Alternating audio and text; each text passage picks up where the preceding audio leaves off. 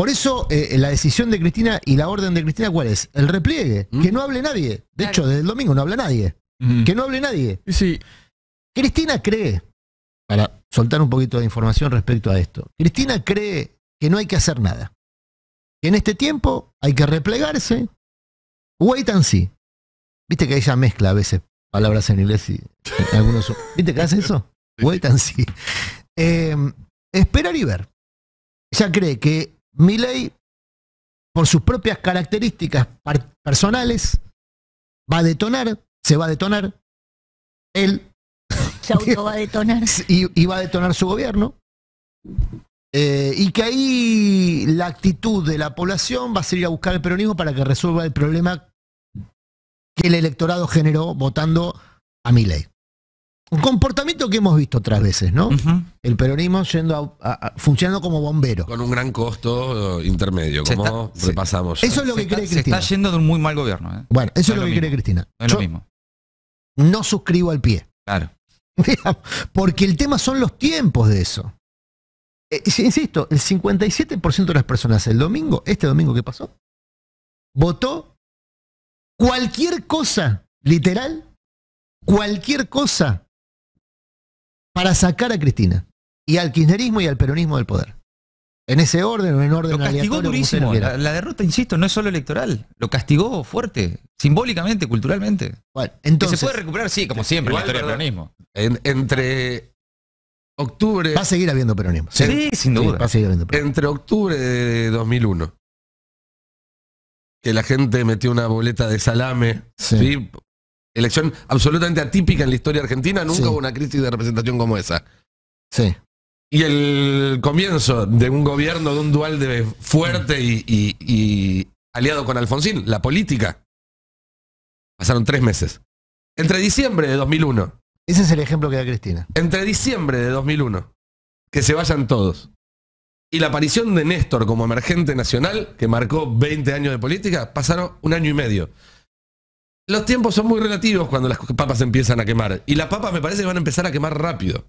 Porque algo que va a pasar ahora, que no pasó en 2015, para retomar la conversación que teníamos hace 15 minutos, es que va a haber, hasta ahora, incluso en el peor momento de Macri, el salario acompañaba en la forma de la curva a la inflación. Por abajo, pero la acompañaba. Ahora vamos a ver un proceso de varios meses donde me parece que las curvas se van a despegar absolutamente. Por no contar que la destrucción de trabajo va a ser mucho más rápida que durante el macrismo. Entonces, ahí me parece que que vamos a ya estar en una situación que no, está- no, no se parece Bueno, pero ni a entonces. 2016 ni... Vos decís O sea, se parece al el- 2001. el ese es un No, no, no, digo, no se parece a nada que conozcamos hasta Ok. ahora. El colchoncito que le había dado el kirchnerismo los dos primeros gobiernos, los dos primeros años del gobierno de Macri, no está. Cristina De se fue con una plaza llena que gritaba vamos a volver, vamos Sí. a volver. Bueno, entonces, si no se parece, pero me, me interesa esta línea de razonamiento porque Cristina opina muy parecido a esto, ¿eh? esta, esta idea de que los tiempos de la política son muy rápidos y que Dualde fue el que sucedió a la crisis del 2001. Sí. Pero Ahora, ojo, sí- porque Dualde, cuando perdió la elección contra de la Rúa, no se fue a la casa, ¿eh?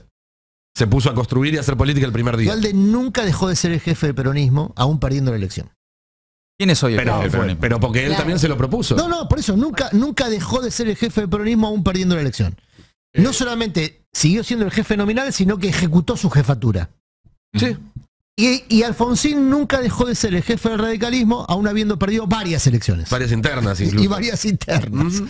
O sea, había una contraparte en ese proceso post-2001 que hoy tampoco tenés.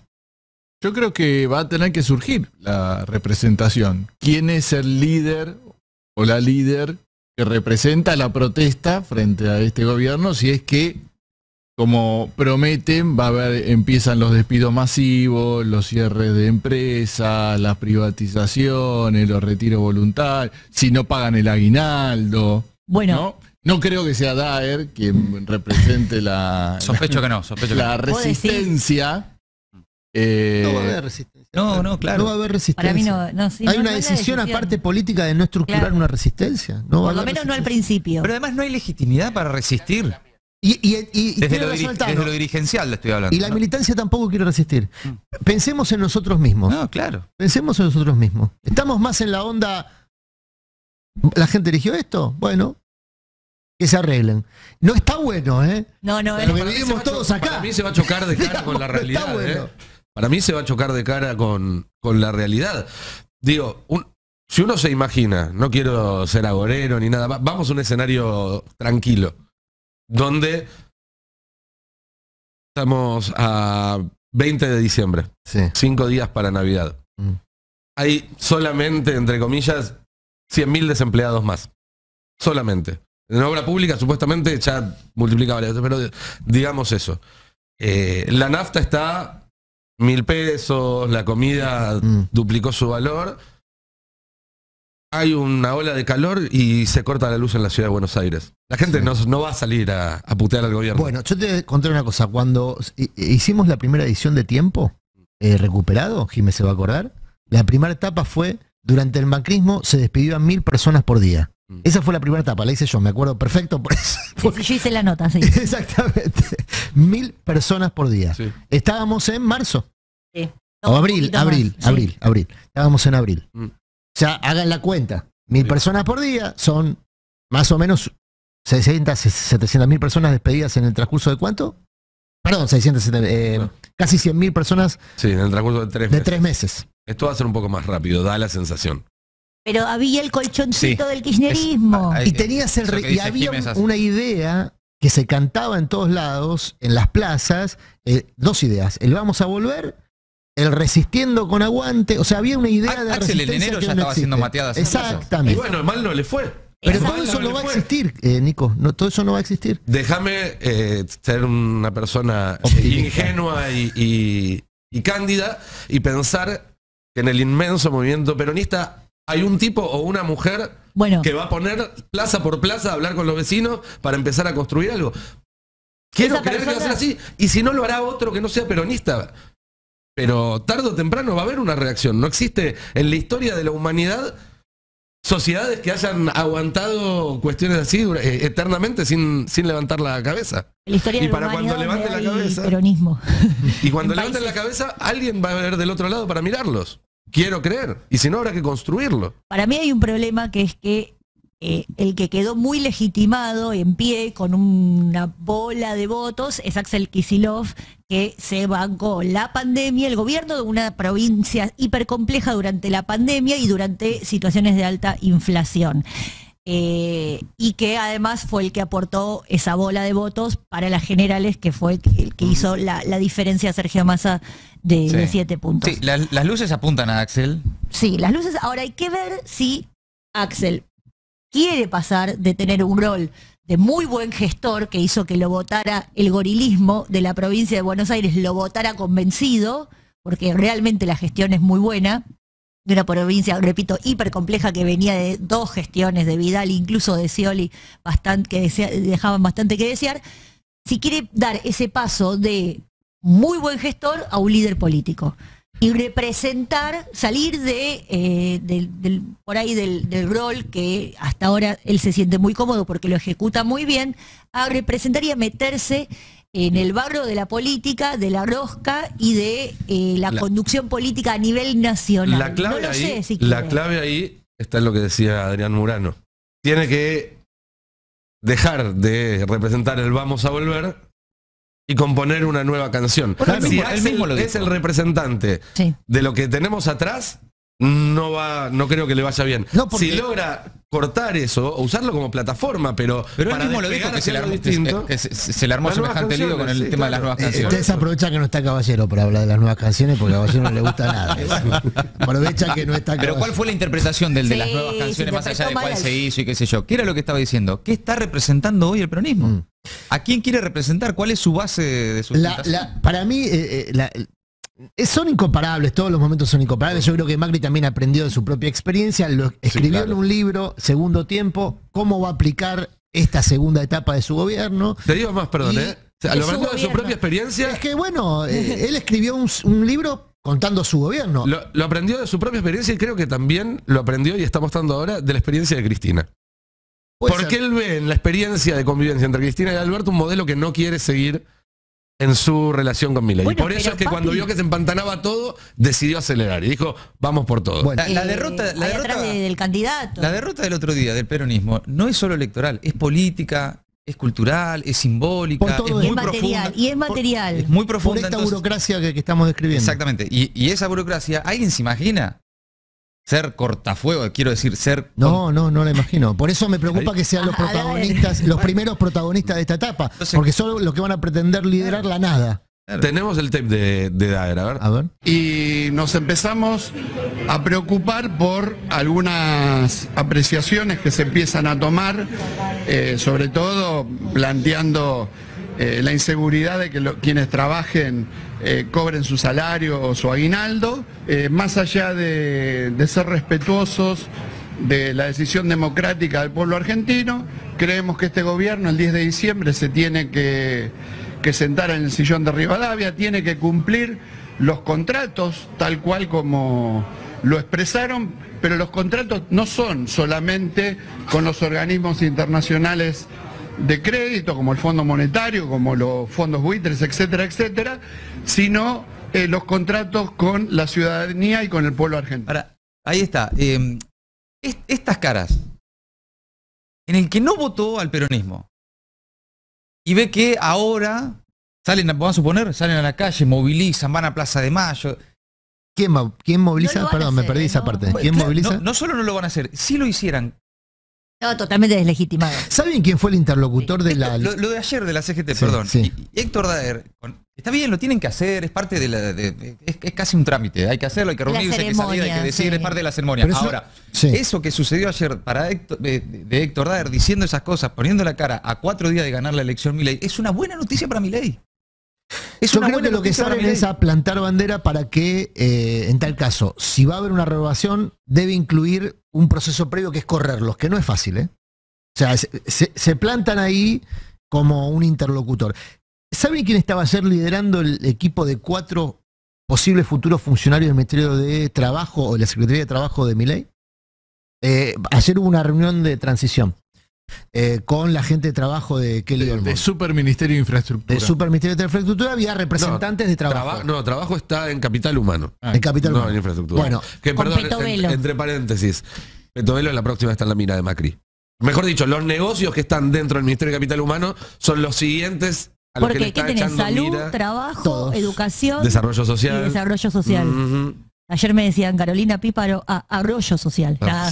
Mucho, Mentira. mucho presupuesto. Bueno, Mucho presupuesto para ordenar el sistema. el, el que encabezó el, el staff de cuatro representantes de Mirai es Miguel Ponte. Miguel Ponte en su momento se hizo conocido, fue funcionario de Triaca, el segundo de Triaca, y se hizo conocido por decir una frase que era más o menos así, voy a tratar de recrearla. Hay que acostumbrarse que eh, tomar y despedir trabajadores es como comer o descomer. Mm. Ese fue Miguel Ponte. Eh, en, una, eh, en una metáfora biológica que asimilaba a los trabajadores una mierda.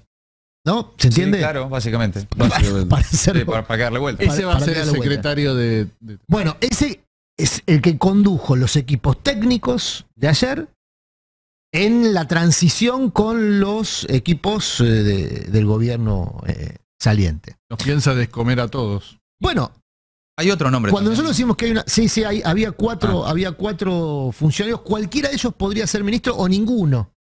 O ninguno, porque todavía no está definido si va a haber ministerio o si va a haber secretaría de, de trabajo.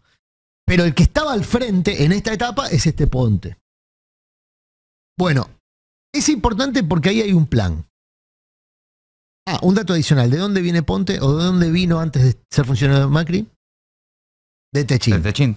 O sea que no, no es que acá estamos hablando de outsiders del sistema de poder que llegan a purificar eh, el Estado. Estamos hablando de actores de poder que llegan a tomar al Estado para garantizarse futuros negocios más lucrativos. Ahí vuelvo al tema de la CGT y al tema de eh, lo que planteabas vos, Jimé, para mí es el gran tema, ¿eh? el gran tema es ¿Cuánto tiempo demora la construcción de una oposición? No de una resistencia, resistencia. Interna en la CGT. No, no, no, de una oposición general, ¿no? a todo esto que estamos describiendo. Porque esto va a ser muy rápido. Eso es lo que yo digo. Yo no sé si la- los tiempos de la política, de la construcción de una oposición, van a acompañar el nivel de, por usar un término técnico, de mecha corta que hay eh, en, en la gente normal. Nosotros estamos hiperpolitizados, hiperinformados, pero la gente normal no como Yo nosotros. lo que dije va a ser muy rápido es lo que va a aplicar el gobierno. ¿eh? El gobierno lo va a aplicar bien, en pero meses. los niveles de inflación, que es lo que es desestructurante, te desacomoda la vida, la cabeza, todo, es, es ahora. Sí, y en línea- Las soluciones las te votamos a vos, mi ley anticasta y antipolítica para que me resuelva las cosas ahora. No me vengas con explicaciones como si tuvo un plafón Macri durante dos años y medio que termina ganando las elecciones de medio término. En línea con lo que están diciendo los dos, si el descontento es muy rápido, si el impacto social es muy rápido, no va a haber nadie que rápidamente Claro, yo creo- conduzca ese yo creo descontento. eso. Y más que el impacto social, yo lo que creo es que va a haber Sí. reformas estructurales que después son muy difíciles de reconstruir. Pero como que laboral. no, de todo sí, tipo. Vos cerrás- vos mirá, hoy hay una, a- a- en este momento hay cientos de personas esperando sacar un pasaje para irse a Córdoba, para irse a Tucumán en Constitución. Porque la gente quiere comprar pasaje tren, A, porque son más baratos que los micros, B, porque es un lindo viaje viajar en tren Sí, claro. a destinos de media y larga distancia. Bueno, vos cerrás los trenes, como lo hizo Menem, en un mes. En un mes. Lo cerrás, dejan de funcionar. Solo funcionan los que sean negocio para el sector privado. Lo que hizo Menem. No, no hay ningún misterio. Ramal que para, ramal que cierra, solo van a rodar los que sean negocio para el sector privado. Reconstruir el tendido ferroviario en la Argentina todavía no se pudo. Estamos hablando de Ujú. 25, 30 años. No se pudo reconstruir. Un tren a Tucumán tarda hoy más que lo que tardaba cuando se creó el tren a Tucumán. Y menos mal que funciona. porque las, porque las vías están hechas Porque pelota. está hecha mierda, porque reconstruir eso que en un mes se destruye demora mucho y quizá no ocurre. Y eso, todo eso va a ocurrir muy rápido. Entonces, si no hay oposición a eso que va a ocurrir muy rápido, más allá que la mecha corta social, yo comparto, es particularmente corta, si no se organiza, si no se ordena, Claro, claro. si no, no se estructura con una narrativa opositora, no va a conseguir oponerse, digamos, a esto, a estos No, pero también- algo perdón, incluso, perdón, algo pero incluso también- más complejo que es que se desordene ese descontento y Exactamente. Sí. sucedan otras cosas. Sí, pero Sí, también, 2001. también eh, esta necesidad de tener una narrativa opositora, con las dificultades que conlleva, porque tenés una elección hace tres días, que donde Obvio, una parte importante de la sociedad dijo lo contrario, tiene que conjugarse con inteligencia estratégica. Porque también lo que sabemos que hace mu- muy bien Macri, calculo que con Milei va a intentar lo mismo, es mandarte la estampida de elefantes y contrabandearte por atrás lo que realmente le importa. Claro. Sin ir más lejos. Nos enseñó Cuando- Marcos Peña todo cuando eso. Macri Ya, no, ya lo eh, aprendimos. durante el gobierno de Macri, probablemente la medida más condicionante en términos estructurales y de largo plazo fue el acuerdo con el Fondo Monetario Internacional. Prácticamente no tuvo resistencia. Hubo resistencia a la ley de medios, hubo resistencia a la chica del Estado, hubo resistencia a un montón de cosas que está muy bien que la haya. Sí. Pero para cuando se llegó al momento, de- de- meses antes había habido una resistencia tremenda a la reforma jubilatoria. Tremenda. Que no alcanzó para frenar la ley. Cuando finalmente llega el momento en el cual hay que trazar una línea, porque eso es lo que te cambia el futuro del país, que acá es vaca muerta, que acá es el Fondo de Garantía de Sustentabilidad, que acá es el litio, que acá eh, son un montón de cuestiones estratégicas. A veces llegas desgastado, a veces llegas peleado por diferencias tácticas o estratégicas en cómo... Sí, mientras vendieron IPF. Y mientras exactamente eh, se tomaron medidas que después no se pueden deshacer, como decía Adri. Por eso también creo que eh, me parece muy interesante lo que a nivel subterráneo está sucediendo en la continuidad de las conversaciones entre dos que durante la campaña aprendieron a, a tenerse una confianza que no se tenían antes, que son Axel Kicillof y Sergio Massa. Y que vienen, tengo entendido, hablando entre ellos o a través de terceros prácticamente... Sí, sí, hubo una reunión, una- Hubo una reunión personal, pero además hay, hay un diálogo eh, más que cotidiano permanente. Están eh, en vivo, digamos, viendo y analizando la situación. Eh, porque obviamente que una vez más el juego de, del gobierno va a ser tratar de romper al peronismo. Porque es lo que siempre han hecho y es lo que les ha dado resultados. Vamos a discutir de vuelta sobre la importancia de la unidad. No empiecen de vuelta. No, No, me, siento en el medio de los dos, ¿eh? A ver, yo lo, voy a poner en hechos. Macri se siente más cómodo con un peronismo dividido que con un peronismo obvio, en unidad. por supuesto. Perfecto. Eh, Después podemos Pero la- la- filosóficamente. Pero no, no, no, yo digo, objetivamente, esta unidad le sirvió mucho a Macri. Puede tener el año perfecto Macri. Este año. Con, con el peronismo en esta unidad, en este modelo de Yo unidad. quiero agregar algo a esa. a el esa año perfecto, si, si gana Boca, tuvo el año perfecto. Creo que también hay que darle méritos, ¿no? A Cris, sí. no, claro. yo digo que si el sentido de la unidad era evitar el regreso de un modelo neoconservador que haga lo mismo que con el macrismo, pero más rápido, no lo evitó. Y lo que sí está generando es una crisis de representación muy severa, de la cual justamente hace media hora, 40 minutos que estamos hablando y no vemos, no vemos salida. Para O sea, este modelo de unidad genera una crisis de representación. En el no peronismo, la unidad lo que se genera. este Fue modelo de unidad. fue este modelo. La unidad sirvió para ganar el 2019. Lamentablemente el gobierno fue muy malo. No sirvió para Y gobernar. bueno, Claro. claro. No, el, gobierno, el, el- el gobierno fue malo, me parece que entendemos- sí, está clarísimo. Está clarísimo a esta altura. Ahora, eh, Pero no el- solo por Alberto Fernández. Seamos buenos entre nosotros. ¿no? Exactamente. más vale. No, sin lugar a dudas. Y que el problema del peronismo hoy no es dirigencial, no es quién dirige, si le queda a él, si le queda al otro, quién agarra la cinta de capitán, quién toma. El problema es de representación. ¿Qué representa hoy el peronismo? Claro. ¿A quién representa hoy el peronismo? La derrota no fue solo electoral, fue muy profunda, fue política. Perdieron contra un tipo que dice que la justicia social es un choreo, perdieron en, en términos simbólicos mucho más que una elección y perdieron además votos por abajo. Perdió a los sectores populares, perdió a los jóvenes, perdió a los laburantes, perdió en provincias donde el peronismo no pierde ni por error. Entonces hay, primero que nada, pasa que es un proceso que lleva tiempo y no sé si dan los tiempos, hay un proceso de revisión de qué representa hoy y a quién el peronismo para luego Claro. pensar qué Por eso yo persona va a la- encarar ese Yo proceso. creo que la unidad en esta etapa menos todavía. No, yo no creo en el valor de la unidad intrínseca, digamos, pero en esta etapa menos todavía porque lo que hay que recuperar es representación y para eso se hace con individuos que agarren la- el bastón de mariscal en función de sus convicciones y representen esas convicciones. Pero eso lo no, que hemos no visto es- fue No, se contrapone necesariamente con la unidad. Sí, porque vos lo que vas a tener es que ahí vas a confrontar ideas de país. No, no piensa lo mismo un gobernador del norte que Kisilov. No, y hoy, hoy no hay, No nadie, hoy hay nadie que haga síntesis de todo. Y, y bueno, probablemente en algún momento eso eh, germine en una síntesis. El tema son los tiempos, insisto. ¿eh? El tema son los tiempos.